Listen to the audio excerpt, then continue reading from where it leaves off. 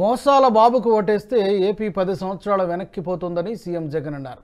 సిద్ధం బస్సు యాత్రలో భాగంగా నంద్యాల మేము సిద్ధం బహిరంగ సభలో ఆయన ప్రసంగిస్తూ గతంలో చంద్రబాబు అబద్ధాలు మోసాలు చూశామని ఇవే బాబుకు చివరి ఎన్నికలు కావాలని ప్రజలకు పిలుపునిచ్చారు.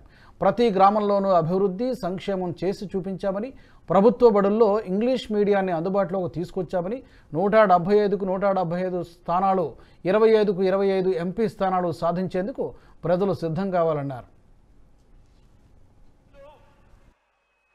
ప్రజా కంటకులు ఓడిన తర్వాత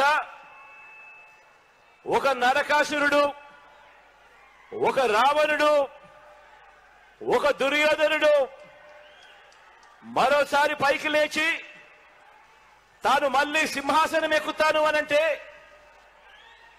ప్రజలు ఎలా ఒప్పుకోరు?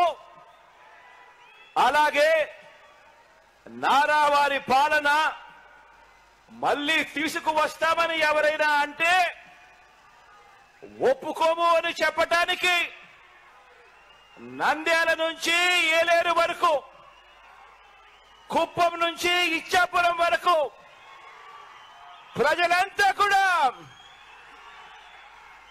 సిద్ధంగా ఉన్నారు. ప్రజల రాజ్యాన్ని ఇంటింటి అభివృద్ధిని రైతు రాజ్యాన్ని మహిళా పక్షపాత రాజ్యాన్ని పిల్లల అభివృద్ధి రాజ్యాన్ని అవ్వ తాతల సంక్షేమ రాజ్యాన్ని కూలగొడదామని మూడు పార్టీలు కూటమిగా చూస్తా ఉన్నాయి. వీరికి తోడు